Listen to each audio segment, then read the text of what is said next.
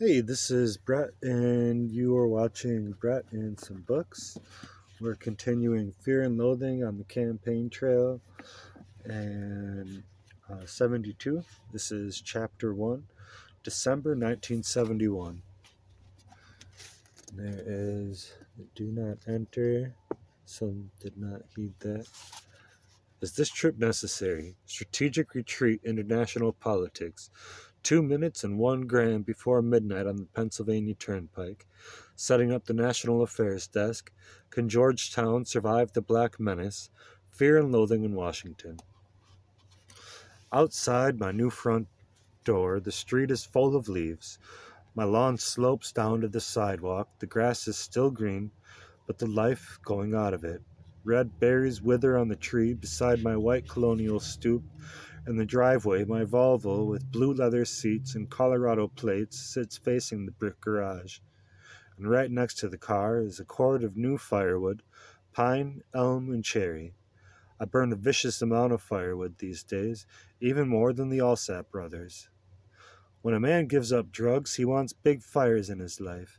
All night long, every night, huge flames in the fireplace, and the volume turned all the way up. I've ordered more speakers to go with my new McIntosh amp, and also a 50 watt boombox for the FM car radio.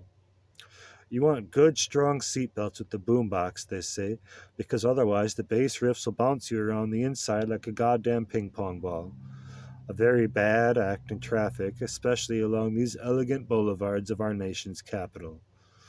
One of the best and most beneficial things about coming east now and then is that it tends to provoke a powerful understanding of the westward movement in U.S. history. After a few years on the coast, or even in Colorado, you tend to forget exactly what it was that put you on the road, going west in the first place. You live in LA a while, and before long you start cursing traffic jams on the freeways in the warm Pacific dusk and you tend to forget that in New York City you can't even park, forget about driving. In Washington, which is still a relatively loose and open city in terms of traffic, it costs me about a dollar fifty an hour every time I park downtown, which is nasty, but the shock is not so much the money cost as the rude understanding that it is no longer considered either sane or natural to park on the city streets. If you happen to find a spot beside an open parking meter, you don't dare use it because the odds are better than even that somebody will come along and either steal your car or reduce it to twisted rubble because you have le- haven't left the keys in it. There is nothing unusual, they tell me, about coming back to your car and finding the radio aerial torn off, the windshield wipers bent up like in the air like spaghetti, and the windows all smashed, for no particular reason except to make sure you know just exactly where it's at these days. Where indeed? At 5:30 in the morning, I can walk outside to piss casually off my stoop and watch the lawn dying slowly from a white glaze of frost. Nothing moving out here tonight. Not since that evil fucker hurled a three pound Washington Post through shattered glass coach light at the top of my stone front steps. He offered to pay for it, but my Dobermans were already on him.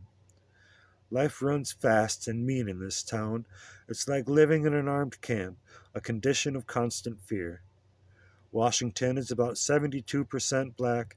The shrinking white population has backed itself into an elegant ghetto in the northwest quadrant of town, which seems to have made things a lot easier for the black marauders who seem who have turned places like chic Georgetown and once stylish Capitol Hill into hellishly paranoid fear zones.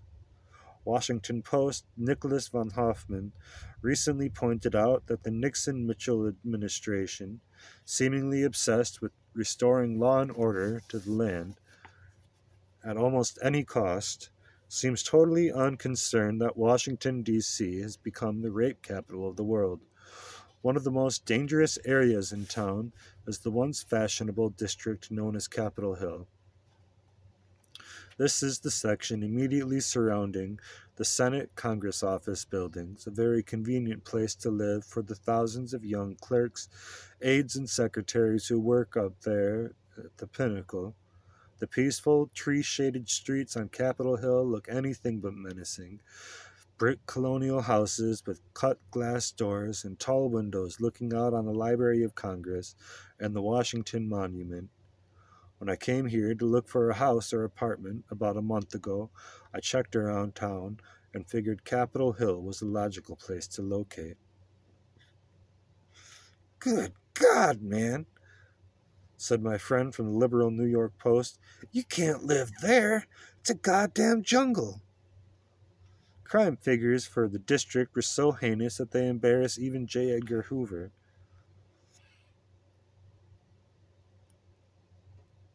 Rape is said to be up 80% this year over 1970. A recent rash of murders, averaging about one every day, has mashed the morale of the local police to a new low. Of the 250 murders this year, only 36 have been solved, and the Washington Post said the cops are about to give up. Meanwhile, things like burglaries, street muggings, and random assaults are so condom- common that they are no longer considered news. The Washington Evening Star, one of the city's three dailies, is located in the Southeast District, a few blocks from the Capitol, in a windowless building that looks like the vault at Fort Knox. Getting into the Star to see somebody is almost as difficult as getting into the White House. Visitors are scrutinized by hired cops and ordered to fill out forms that double as hall passes. So many star reporters have been mugged, raped, and menaced that they come and go in fast taxis, like people running the gauntlet, fearful, with good reason, of every sudden down footfall between the street and the bright lit safety of the newsroom guard station.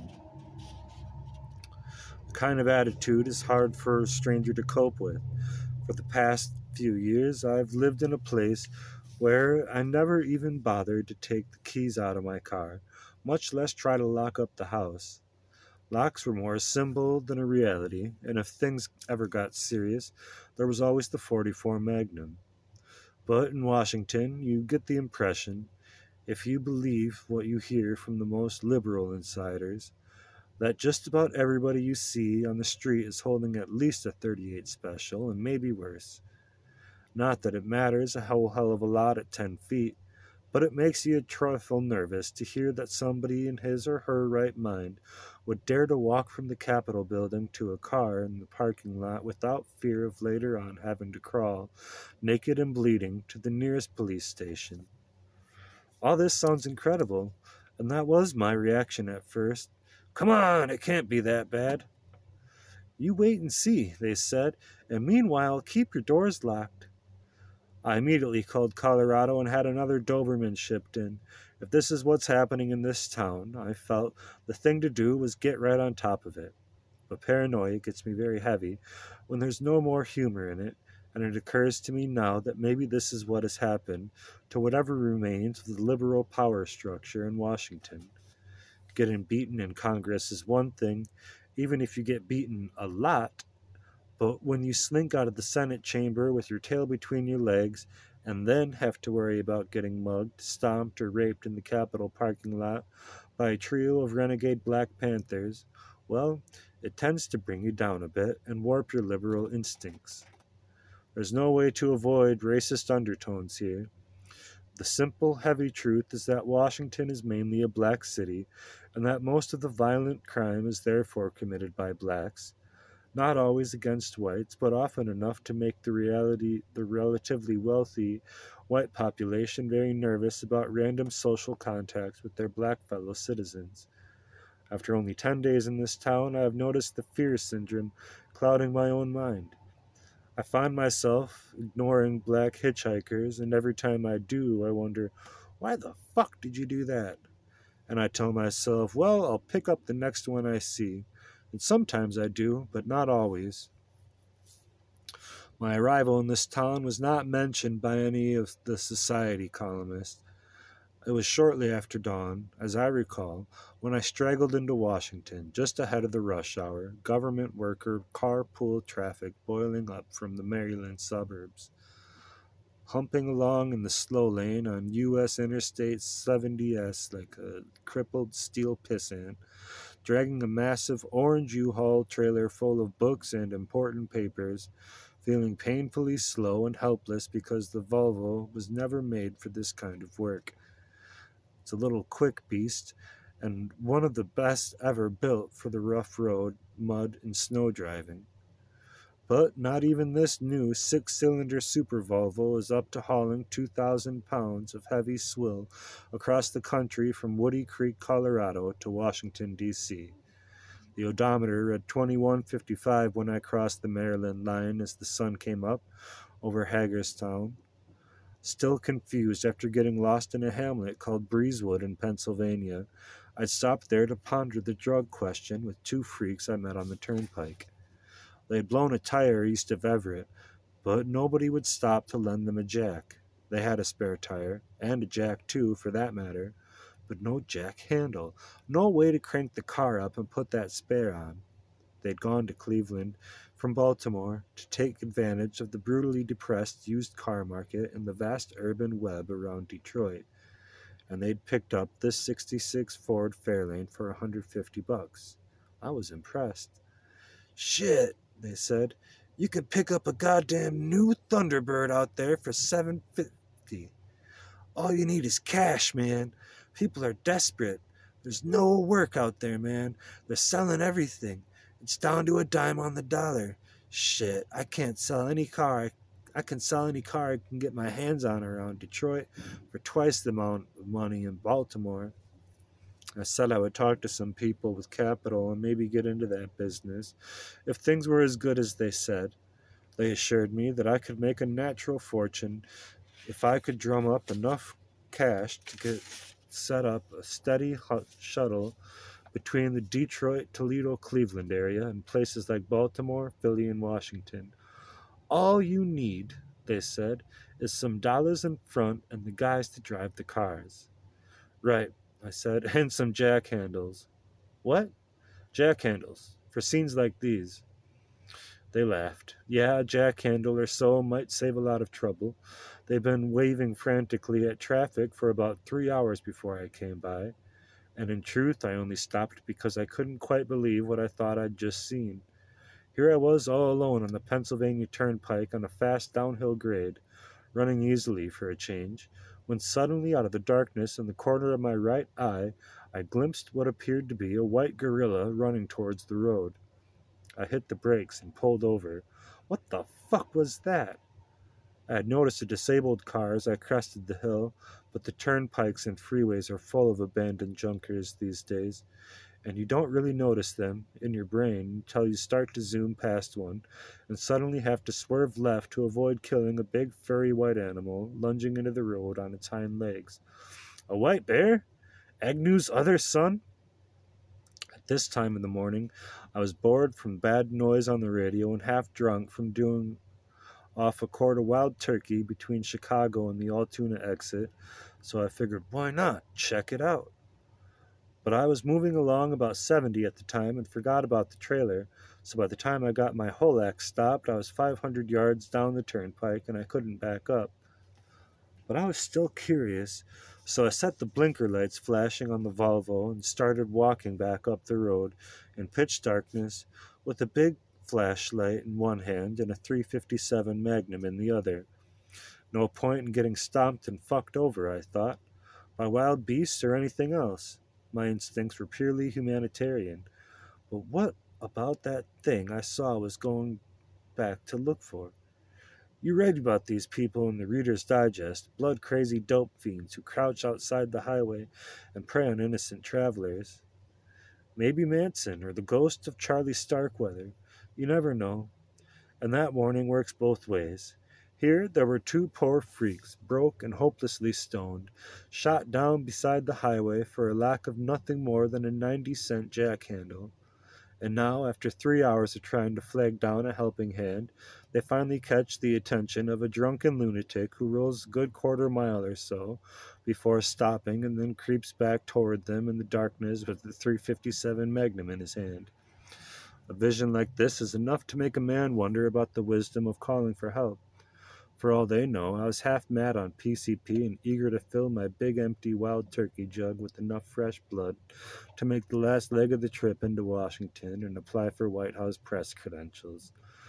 Nothing like a big hit of red corpuscles to give a man the right fit lift for a rush into politics. But this time things worked out, as they usually do when you go with your instincts. And when I finally got back to the derailed junker, I found these two half frozen heads with the blowout, and the white bear rushing into the road had been nothing more than Jerry, wrapped up in a furry white blanket from a Goodwill store in Baltimore, finally getting so desperate that he decided to do anything necessary to make somebody stop. At least a hundred cars had zipped past, he said. I know they could see me because most of them s- swerved out into the passing lane, even a cop car. This is the first time in my goddamn life that I've really wanted the cop to stop for me. Shit, they're supposed to help people, right? Lester, his friend, was too twisted even to get out of the car until we started cranking it up. The Volvo jack wouldn't work, but I had a huge screwdriver that we managed to use as a jack handle. When Lester finally got out, he didn't say much, but finally his head seemed to clear and he helped out putting the tire on. Then he looked up at me while Jerry tightened the bolts and said, Say, man, you got anything to smoke? Smoke? I said. Do I look like the kind of person who'd be carrying marijuana? Lester looked at me for a moment, then shook his head. Well, shit, he said. Let's smoke some of ours. Now, here, I said. Those blue lights about a hundred yards from where my car's parked is a state police barracks. Let's get some coffee down in Breezewood. There's bound to be a truck stop. Jerry nodded. It's cold as a bastard out here. If we want to get loaded, let's go someplace where it's warm. They gave me a ride down to the Volvo, then followed me into the Breezewood to a giant truck stop. This is terrible shit, Lester muttered, handing the joint to Jerry.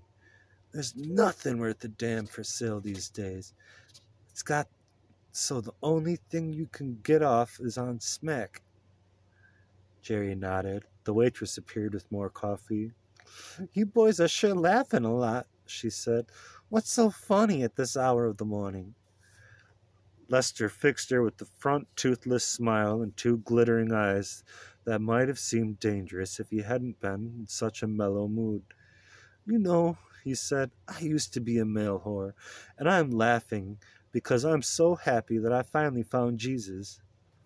The waitress smiled nervously as she filled up our cups and then hurried back to her perch behind the counter. We drank off the coffee and traded a few more stories about the horrors of the latter day drug market. Then Jerry said they would have to get moving. We're heading for Baltimore, he said. What about you? Washington, I said. What for? Lester asked. Why the fuck would anybody want to go there? I shrugged. We were standing in the parking lot while my Doberman pissed on the wheel of a big Hard Brothers poultry truck. Well, it's a weird sort of trip, I said finally. What happened is that I finally got a job after 12 years. Jesus, said Lester. That's heavy. Twelve years on the dole? Man, you must have been really strung out. I smiled. Yeah, yeah, I guess you could say that. What kind of a job? Jerry asked. Now the Doberman had the driver of the Hard Brothers truck backed up against his cab, screeching hysterically at the dog and kicking out with his metal toed army boots. We watched with vague amusement as the Doberman, puzzled by this crazy outburst, backed off and growled a warning. Oh, God, Jesus! screamed the trucker. Somebody help me! It was clear that he felt he was about to be chewed up and killed, for no reason at all, by some vicious animal that had come out of the darkness to pin him against his own truck. Okay, Benji, I shouted. Don't fool with that man. He's nervous. The trucker shook his fist at me and yelled something about getting my license number. Get out of here, you asshole, Lester screamed. It's pigs like you that give Dobermans a bad name. Jerry laughed as the trucker drove off. You won't last long on the job with a dog like that, he said. Seriously, what kind of work you do? It's a political gig. I said. I'm going to Washington to cover the 72 presidential campaign for Rolling Stone. Jesus Christ, Jerry muttered. That's weird. The Stone is into politics? I stared down at the asphalt, not sure what to say. Was the Stone into politics, or was it just me? I had never really wondered about it. But suddenly, on the outskirts of Washington, in the cold gray dawn of this truck stop near Breezewood, just north of the Maryland line, it suddenly occurred to me that I couldn't really say what I was doing there, except heading to D.C. with an orange pink pig shaped trailer and a Doberman pinscher with bad bowels after too many days on the road. It sounds like a stinking goddamn way to get back into work, said Lester. Why don't you hang up that bullshit and we'll put something together with that car shuttle Jerry told you about? I shook my head. No, I want to at least try this trip, I said. Lester stared at me for a moment, then shrugged. Oh, goddamn, he said. What a bummer. Why would anybody want to get hung up on a pile of shit like politics? Well, I said, wondering if there was any sane answer to a question like that. It's mainly a personal trip, a very hard thing to explain. Jerry smiled. You talk like you've tried it. He said, like maybe you got off on it. Not as far as I meant to, I said, but definitely high. Lester was watching me now with new interest. I always thought that about politicians, he said. Just a gang of goddamn power junkies gone on their own strange trips. Come on now, said Jerry. Some of those guys are okay. Who? Lester asked. Well, that's why I'm going to Washington, I said, to check out the people and find out if they're all swine. Don't worry, said Lester. They are. You might as well go looking for cherries in a Baltimore whorehouse. Okay, I said. I'll see you there when I make it over to Baltimore. I stuck out my hand, and Jerry shook it in a quick conventional handshake, but Lester had his thumb up, so I had to adjust for the revolutionary drug brothers grip, or whatever that goddamn thing is supposed to mean. When you move across the country these days, you have to learn about 19 different handshakes between Berkeley and Boston. He's right, said Jerry. Those bastards wouldn't even be there if they weren't rotten. He shook his head without looking at us, staring balefully across the parking lot. The gray light of the dawn was getting brighter now. Thursday was dying, and the highway at the other end of the parking lot was humming with cars full of people going to work on Friday morning. Welcome to Washington, D.C. That's what the sign says. It's about 20 feet wide and 10 feet tall, a huge stone plaque lit up by spotlights at the head of the 16th Street just in from the Maryland line. The street is five lanes wide with fat green trees on both sides and about 1,300 out of phase stoplights between here and the White House. It's not considered fashionable to live in the district itself unless you can find a place in Georgetown, an aged brick townhouse with broad windows for 700 or so a month. Georgetown is Washington's lame answer to Greenwich Village, but not really. It's more like the Old Town section of Chicago, where the leading citizens are half bright Playboy editors smoking tailor made joints. The same people in Georgetown are trendy young lawyers, journalists, and bureaucrats who frequent a handful of pine paneled bars and singles only discotheques where drinks cost 175 and there's no cover charge for girls wearing hot pants. I live on the black side of Rock Creek Park in what my journalistic friends call a marginal neighborhood.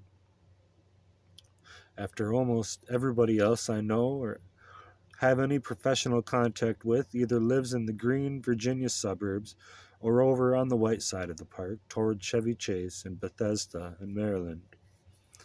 The underculture is scattered into various far flung bastions and the only thing even approximating a crossroads is the area around DuPont Circle downtown.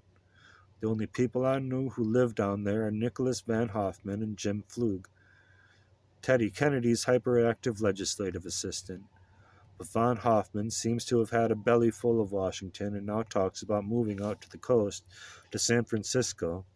And Flug, like everyone else, even vaguely connected with Kennedy, is gearing down for a very heavy year, like maybe 20 hours a day on the telephone and the other four on planes. With December winding down, there is a fast swelling undercurrent of political angst in the air around Washington, a sense of almost boiling desperation about getting Nixon and his cronies out of power before they can finish the seizure that they began three years ago. Jim Flug said he'd rather not talk about Kennedy running for president, at least not until he has to, and that time seems to be coming up fast. Teddy is apparently sincere about not wanting to run, but it is hard for him or anyone else to notice that almost everybody who matters in Washington is fascinated by the recent stories of Gallup polls showing Kennedy creeping ever closer to Nixon. Almost even with him now, and this rising tide has cast a very long shadow on the other Democratic candidates. There is a sense of muted desperation in Democratic ranks at the prospect of getting stuck and beaten once again with some tried and half true hack like Humphrey, Jackson, or Muskie.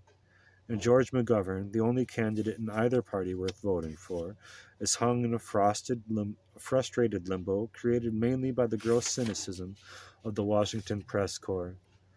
He'd be a fine president, they say, but of course he can't possibly win. Why not? Well, the wizards haven't bothered to explain that, but their reasoning appears to be rooted in the hazy idea that the people who could make McGovern president, that huge and confused coalition of students, freaks, blacks, anti war activists, and dazed dropouts, won't even bother to register, much less drag themselves to the polls on election day. Maybe so, but it is hard to recall many candidates, even in recent history, who failed to move what is now the McGovern vote to the polls as if they actually represented it. It sure as hell wasn't the AFL CIO that ran LBJ out of the White House in 68.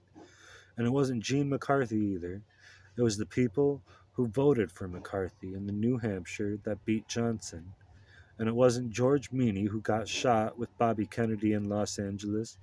It was a renegade radical from the UAW it wasn't the big time Democratic bosses who won the California primary for Bobby, but dozens, but thousands of fuckers and immigrants and white peace freaks who tired about being gassed for not agreeing with the man in the White House.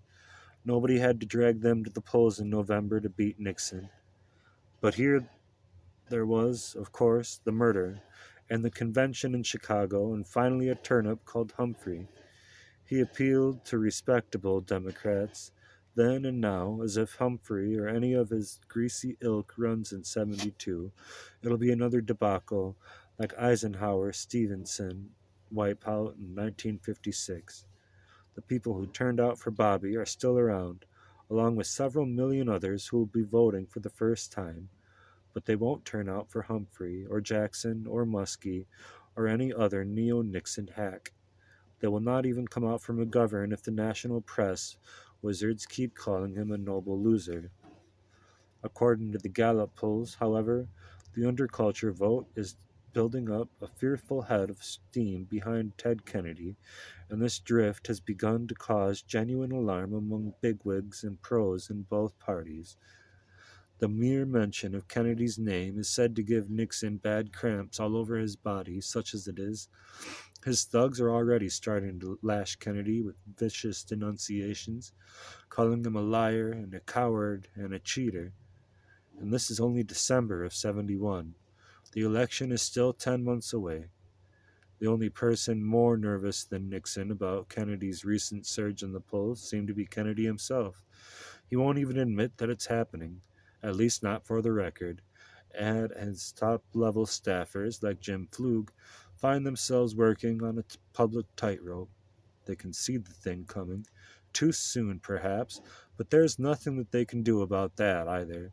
With the boss hunkered down, insisting he's not a candidate, his lieutenants try to keep their minds off the storm by working feverishly on projects.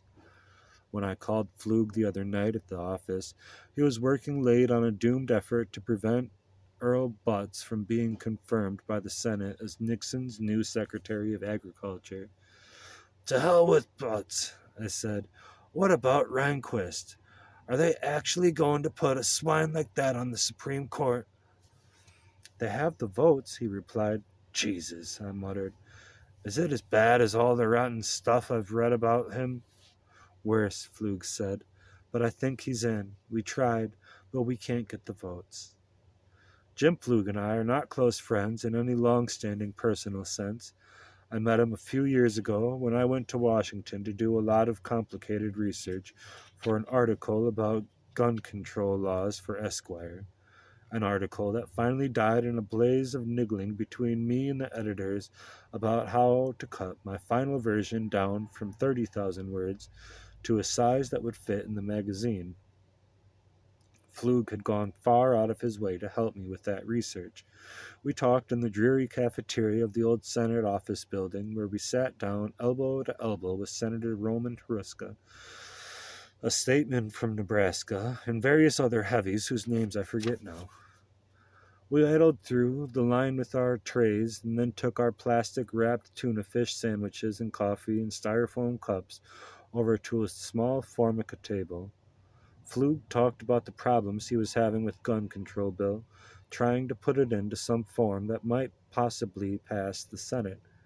I listened, glancing up now and then toward the food bar, half expecting to see somebody like Robert Kennedy pushing his tray through the line, until I suddenly remembered that Robert Kennedy was dead.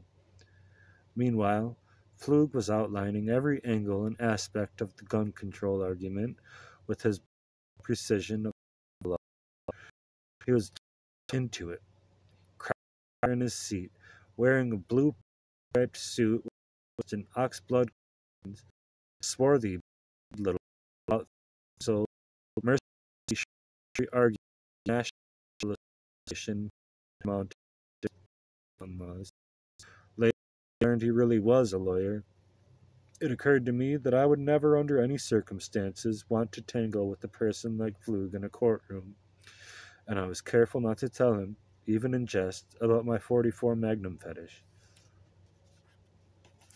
After lunch that day, we went back to his office and he gave me an armload of fact sheets and statistics to back up his arguments. Then I left, feeling very much impressed with Flug's trip, and I was not surprised a year later when I heard he had been the prime mover behind the seemingly impossible challenge to the Carswell Supreme Court nomination one of the most impressive long shot political victories since McCarthy sent Lyndon back to the ranch. Coming on the heels of Judge Haynsworth's rejection to the Senate, or by the Senate, Carswell had seemed like a shoe in, but a hardcore group of Senate staffers, led by Flug and Birch Bayh's assistants, had managed to dump Carswell too. Now, the Nixon trying to fill two more court vacancies Flug said there was not a chance in hell of bearing either of beating either one of them. Not even Rehnquist, I said. Christ, that's like Lyndon Johnson trying to put Bobby Baker on the court. I know, said Flug. Next time you want to think about appealing a case to the United States Supreme Court, just remember who you'll be up who will be up there. You mean down there, I said, along with all the rest of us. I laughed. Well, there's always smack. Flug didn't laugh. He and a lot of others have worked too hard for the past three years to derail the kind of nightmare the Nixon Mitchell team is ready to ram down our throats. There's not much satisfaction in beating Haynsworth and Carswell, then having to swallow a third rate yo yo like Powell, and then a vengeful geek like Rehnquist. What Nixon and Mitchell have done in these three years, despite the best efforts of sharpest and meanest young Turks the Democratic opposition can call on, is reduced to the U.S. Supreme Court at the level of a piss poor bowling team in Memphis. This disastrous Nazi bent shift of the federal government's final decision making powers won't even begin to take effect until the spring of 72. The effects of this takeover are personally so disa- potentially so disastrous in terms of personal freedoms and police power that there is no point in even speculating on the fate of some poor misguided geek who might want to make his illegal search and seizure case all the way up to the top. A helpful hint, however, might be found in the case of the Tallahassee newspaper reporter who went to Canada in 67 to avoid the draft, and returned to find that he was no longer a citizen of the United States, and now he has 90 days to leave the country. He appealed the case to the Supreme Court, but they refused to even hear it. So now he has to go, but of course he has no passport, and international travel is not real easy without a passport. The federal immigration officials understand this, but, backed up by the Supreme Court, they have given him an ultimatum to vacate anyway. They don't care where he goes, just get out. And meanwhile, Chief Justice Burger is taken to answering his doorbell at night with a big six shooter in his hand. You never know, he says, who might come crashing in. Indeed, maybe Rehnquist, far gone with an overdose of raw sow belly and crazy for terminal vengeance on the first house he comes to. This world is full of dangerous beasts, but none quite as ugly and uncontrollable as a lawyer who has finally flipped on off the tracks of reason. He'll run completely amok, like a priest into sex, or a narc squad cop who suddenly decides to stare, start sampling his own contraband. Yes, and uh, where were we? I have a bad tendency to rush off on mad tangents and pursue them for 50 or 60 pages that get so out of control that I end up burning them for my own good. One of the few exceptions to this rule occurred very recently when I slipped up and let about 200 pages go into print, which caused me a lot of trouble with the taxman, among others, and taught me a lesson I hope I'll never forget. Live steady. Don't fuck around. Give anything weird a wide berth, including people. It's not worth it. I learned this the hard way, through brutal overindulgence. And it's also a nasty fact that I have to catch a plane for Chicago in three hours to attend some kind of national emergency conference for new voters, which looks like opening the opening shot in this year's version of the McCarthy Kennedy uprising in 68. And since the conference starts at 6 o'clock tonight, I must make that plane. Back to Chicago. It's never dull there. You never know exactly what kind of terrible shit is going to come down on you in that town, but you can always count on something. Every time I go to Chicago, I come away with scars.